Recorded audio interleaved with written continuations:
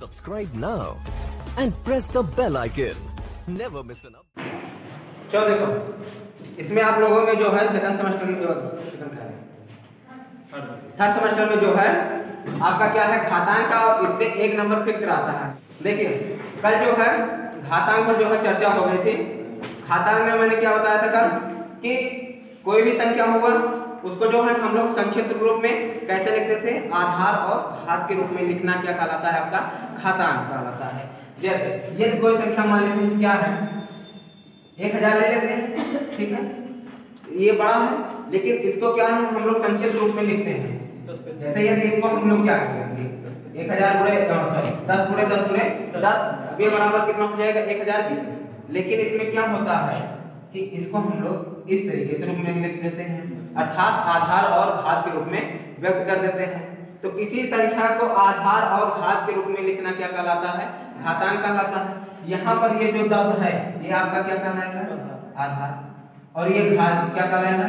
घात। ठीक है? तो आधार और घात के रूप में लिखना क्या कहलाता है? घातांक कहलाता है। ठीक? अच्छा इसमें ये जो घात होती है, ये जो घात होती है किसी संख्या को जितनी बार गुणा किया जाता है, जैसे यहाँ पर दस का गुणा कितनी बार हो रहा है? तीन। तो जितनी बार गुणा किया जा रहा है, उसके ऊपर उतना लिख देते हैं। ठीक है? तो अर्थात अब यहाँ पर आप ये कह सकते हैं कि किसी की संख्या के ऊपर जो घात चढ़ी किसी संख्या के ऊपर जो वैल्यू लिखी होती है, वो क्या कहलाता है आपका? घात कहलाता है। ठीक है? और जिस संख्या के ऊपर वो वैल्यू लिखी होती है क्या कहलाता है? आधार कहलाता है। ठीक है? तो इस तरीके से आपका एक प्रश्न ऐसे पूछ सकता है कि मान लेते हैं सौ है। ठीक है? इसका घातांकीय रूप क्या होगा? सौ का घातांकीय रूप क्या होगा? तो सौ को हम लोग क्या लिखेंगे? दस गुणे दस। अर्थात दस का गुणा कितनी बार हो रहा है? दो बार। किसका गुणा? दस का। ठीक है? तो इस तरीके से आधार और घात के रूप में लिखना क्या कहलाता है आपका? घातांक कहलाता है। ये तो ये हो गया। ठीक है?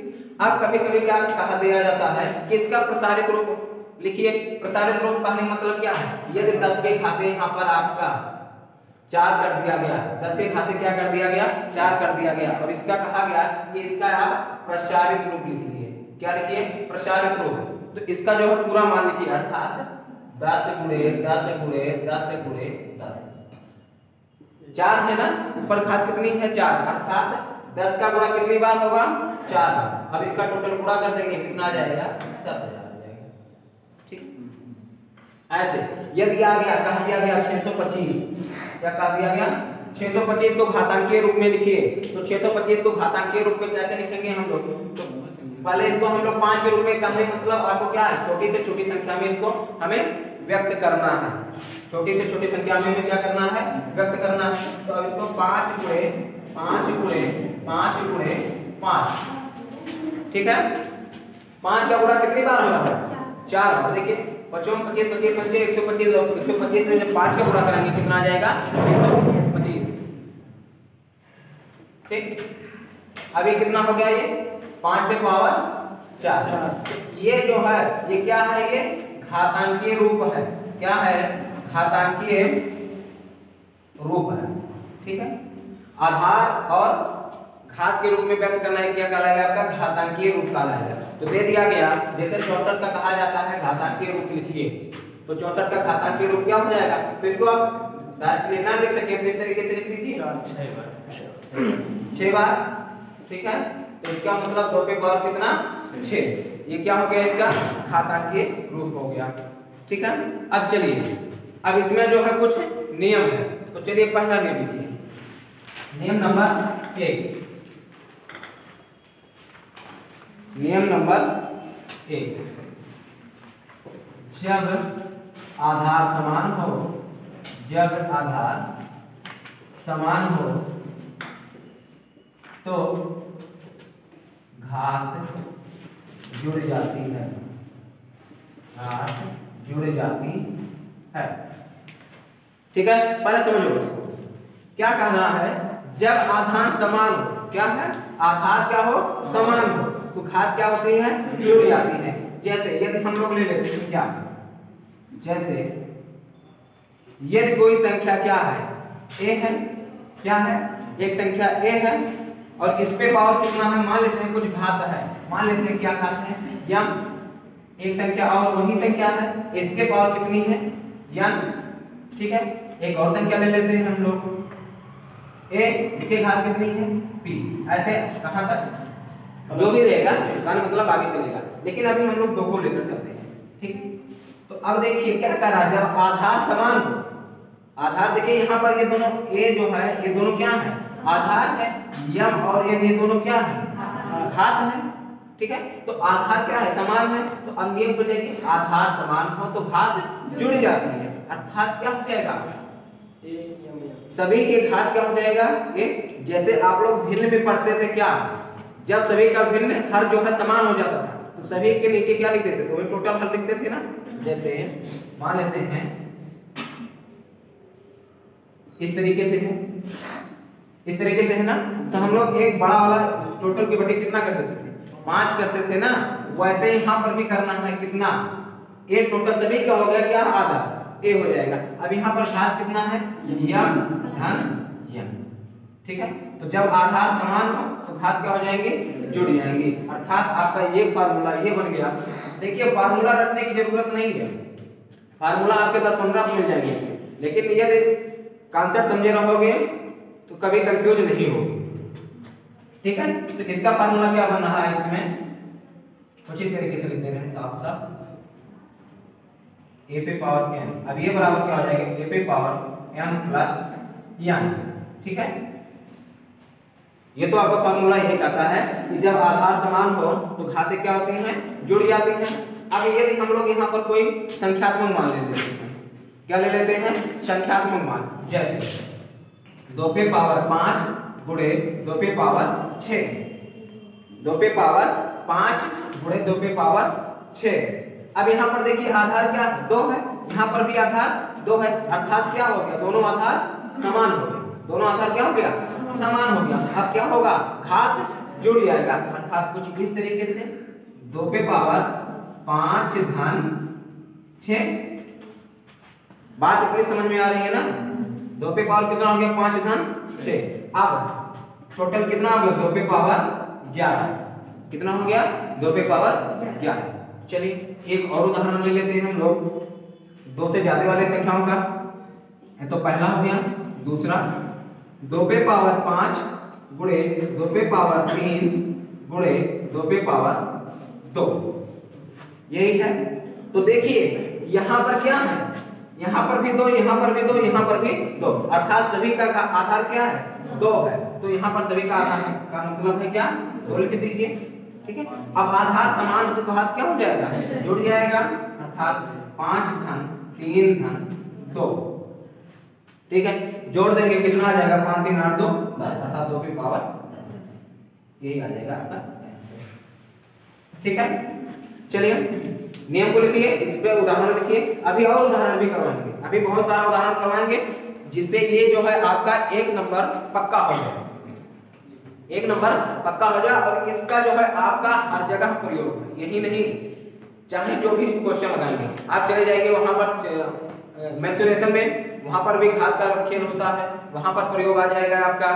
फिर उसके बाद आप बीज गणित में देखिएगा। वहाँ भी ये सारी चीज़ें मिल जाएँगी आपको।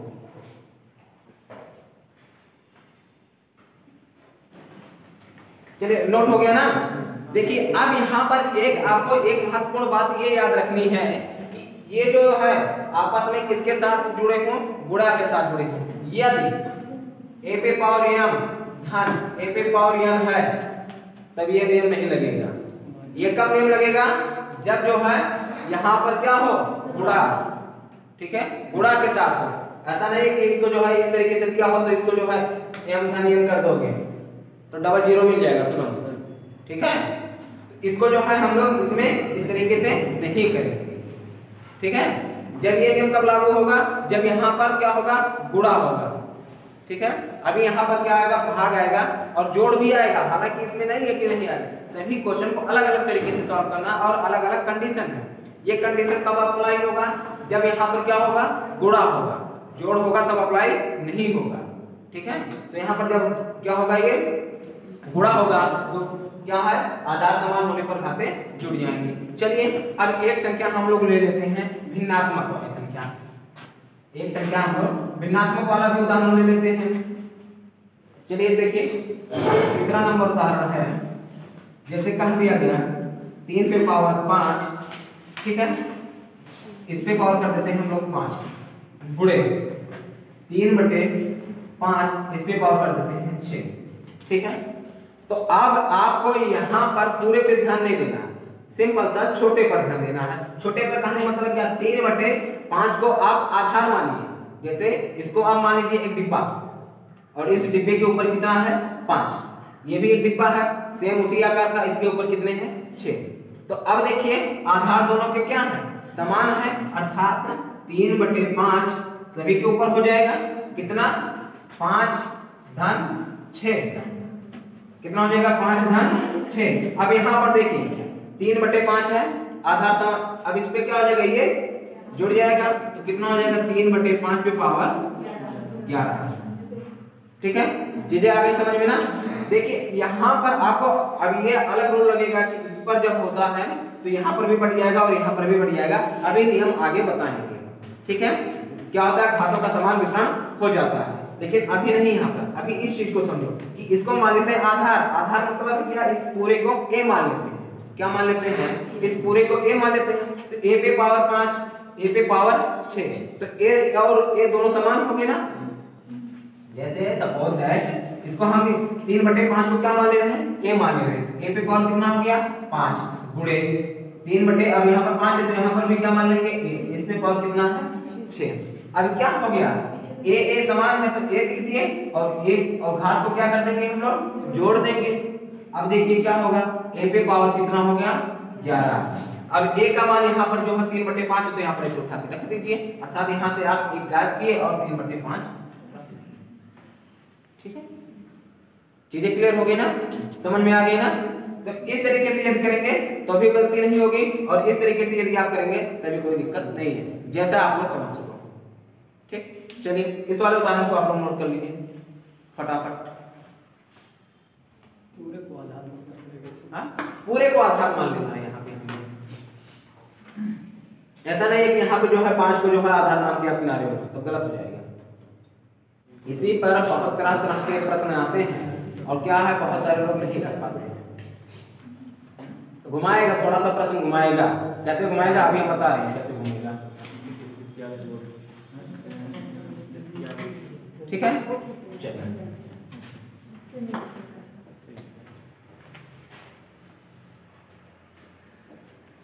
सूत्र को जो है हम फिर से यहाँ पर लिख दे रहे हैं क्या?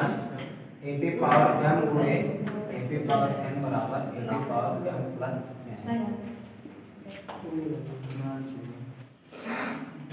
चलो, देखो यहाँ पर क्या है? यहाँ पर देखिए क्या हुआ कि आधार समान है? घात क्या होगा? जुड़ेगा। अब ये ऋणात्मक इसमें आ गया? ऋणात्मक घात आ गई ना? तो डरने की बात कुछ नहीं है।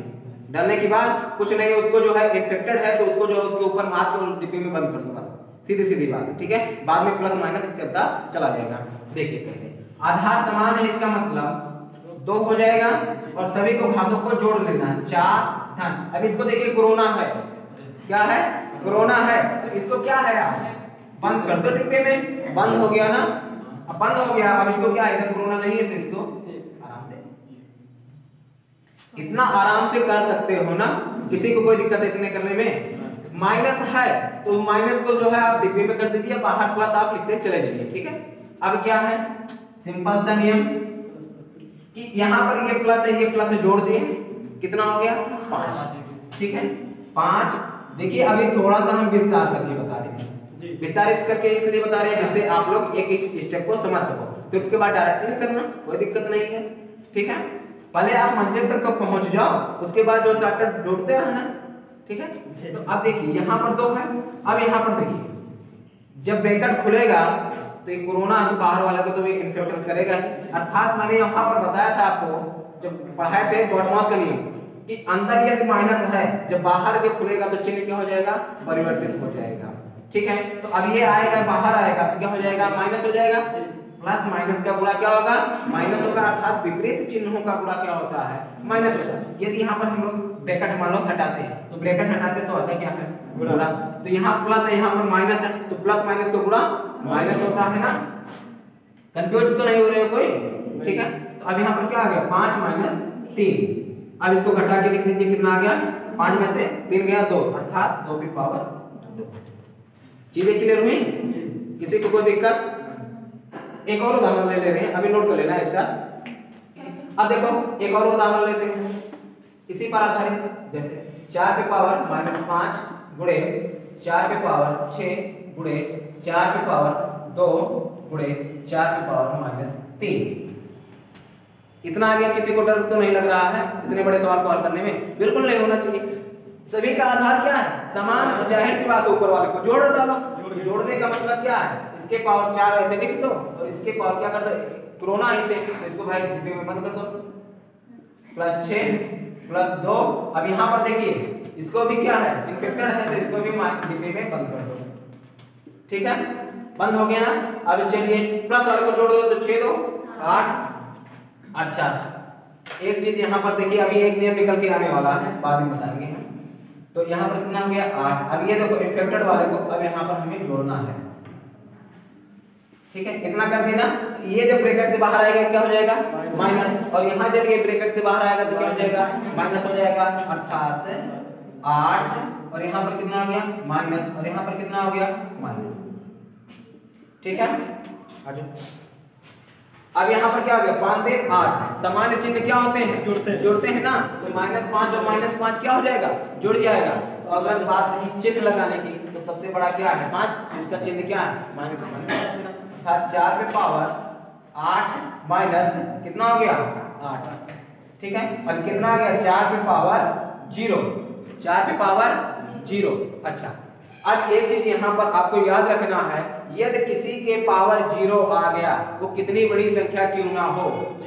उसका मान एक होगा, ज़ीरो नहीं होगा। तो इसका मान कितना आ जाएगा? एक आ जाएगा। कितना आ जाएगा? एक आ जाएगा। जैसे कोई भी संख्या हो, जैसे कहा दिया गया, बयालीस पे पावर ज़ीरो तो इसका मान मतलब क्या हो गया? एक हो गया।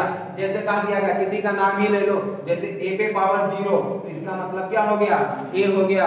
मान लेते हैं, ले लेते हैं क्या? रोहित पे पावर ज़ीरो तो इसका मतलब क्या हो गया? ठीक है?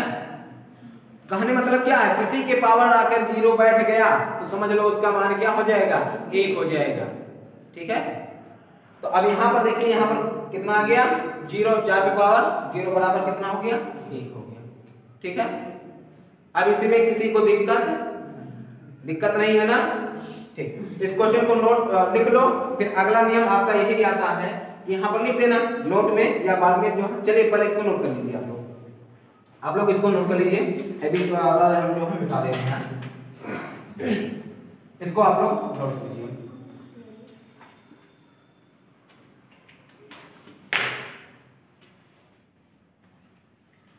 प्लस माइनस वाला कभी आप लोग गलती मत करिएगा। इस चीज़ को याद रखिएगा। इसीलिए यहाँ पर जो है मैंने प्लस माइनस को लेकर यहाँ पर रख दिया है। ठीक है? चले? आगे बढ़े? हाँ। जो दो के बगल है जो प्लस लगा है, इधर वाला? ये नहीं जुड़ेगा, क्योंकि अभी देखो इसके बाद ये घर से निकलेगा। घर से निकलेगा तो इसके लगे जाओगे तो कोरोना हो जाएगा। नहीं बात समझ? कहानी मतलब हमें आगे वाले को देखना, इसके पीछे प्लस लगा है, माइनस लगा है, गुणा लगा है, इस पे जो है अभी हमें ध्यान नहीं देना। प्लस पे ध्यान यहाँ पर हमें नहीं देना, क्योंकि अब इसके बाद खुलेगा जब ब्रैकेट तो हो जाएगा क्या? माइनस। चिन्ह नहीं बदलेगा? ये तो है ना कि घर ही में से जो है उसका काम कर दोगे, उसको घर से बाहर निकलना ही पड़ेगा। तो घर से बाहर निकलेगा तो एक प्लस नहीं रह जाएगा, फिर क्या हो जाएगा वो? माइनस हो जाएगा। ठीक है? हाँ।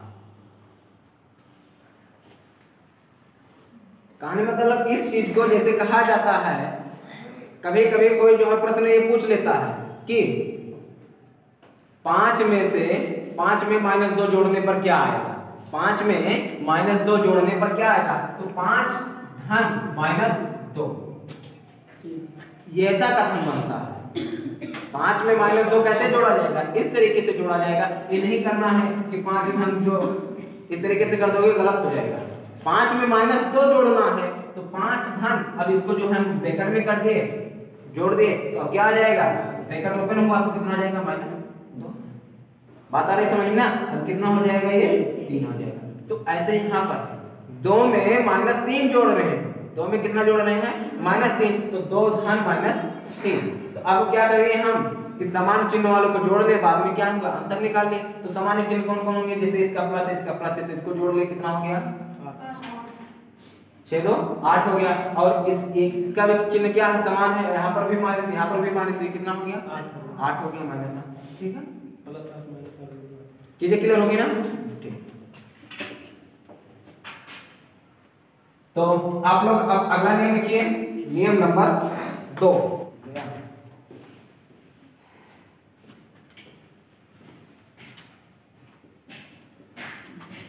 नियम नंबर दो।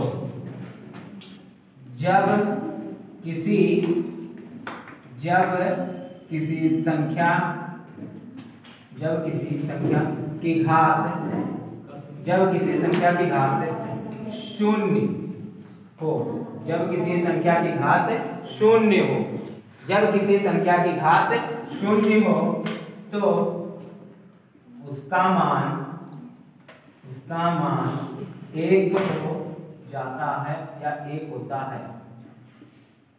ठीक है? जब किसी संख्या की घात क्या हो, शून्य हो तो उसका मान क्या हो जाता है? एक हो जाता है। जैसे जैसे, तीन पे पावर शून्य बराबर कितना? एक। चार पे पावर शून्य बराबर एक। एक हज़ार पे पावर शून्य बराबर कितना? एक। और तीन सौ पैंतीस या चौवन पे आर पावर शून्य बराबर कितना? एक। ठीक है? अर्थात यहाँ पर यहाँ पर एक बढ़ा देना। अर्थात ए पे पावर शून्य बराबर एक। ठीक है? यदि किसी संख्या के पावर क्या होता है? शून्य होता है तो उसका मान कितना होता है? एक होता है। ठीक है? चाहे वो संख्या कितनी बड़ी क्यों ना हो, उसका मान कितना होगा? एक होगा, ज़ीरो नहीं होगा। जैसे आ गया विकल्प में, ऐसे दे दिया गया। क्वेश्चन आ गया एक, कि 345 के पावर ज़ीरो का मान है। ठीक है? अब विकल्प में आ गया। अब पहले विकल्प में आ गया ज़ीरो, दूसरे विकल्प में आ गया एक, तीसरे विकल्प में आ गया जो है तीन सौ पैंतालीस चौथे विकल्प में आ गया इनमें में से कोई नहीं। ठीक है? तो यहाँ पर ज़ीरो और एक दोनों रहेगा। तो जिसको याद नहीं रहेगा, तुरंत कहेंगे, भैया, बस ज़ीरो होगा। मार दो कट से सही है। लेकिन एक्चुअली में होता कितना है? एक होता है, ज़ीरो नहीं होता है। ठीक है? इस तरीके के प्रश्न जो है पूछे भी गए हैं। तो इसलिए इस चीज़ को आप लोग ध्यान रखिएगा, क्योंकि थोड़ा सा कंफ्यूजन भरा क्वेश्चन है। क्या है? कंफ्यूजन भरा क्वेश्चन है। तो किसी की संख्या के पावर यदि ज़ीरो है तो उसका मान कितना होगा? एक होगा। ज़ीरो नहीं होगा। ठीक है? नेम नोट कर लो। एक चीज़ और देखिए। यदि कोई बटा वाला संख्या है, बटे वाली, जैसे तीन, अब इस पे पावर ज़ीरो तो इसका मान कितना हो जाएगा? एक हो जाएगा। कितना हो जाएगा? एक हो जाएगा। यदि कुछ इस तरीके से भी आ जाए तो इस पे पावर ज़ीरो तो इसका मान क्या हो जाएगा? एक हो जाएगा। चाहे जैसे भी संख्या है उसका मान कितना होगा? एक ही होगा ठीक है? हर समान नहीं रहेगा? जब हर समान नहीं रहेगा तब वो अलग नियम बताएँगे अभी आगे चल के